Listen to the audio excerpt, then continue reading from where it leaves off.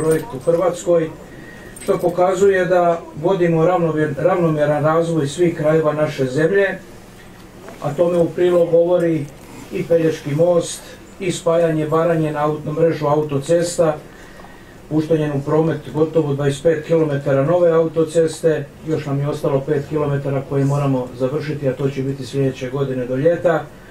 To pokazuju natječaji za preostale dvije dionice Jadransko-Jonskog koridora, autoceste do Dubrovnika, odnosno do Žute Lokve.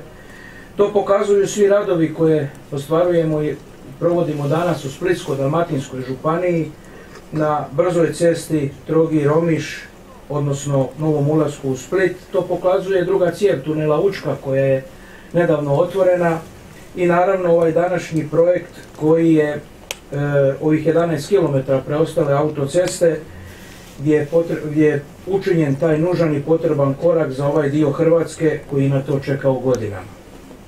Ovo je u prometnom smislu najvažniji projekt za Sisačko-Moslavačku županiju jer kvalitetna i brza cestovna infrastruktura doprinjeće bržoj i kvalitetnijoj revitalizaciji ovoga kraja koji je nažalost pogođen potresom. No za sve ovo čemu danas svjedočimo bila je nužna i politička volja i donošenje odluke Vlade Republike Hrvatske da se krene u završetak ove autoceste.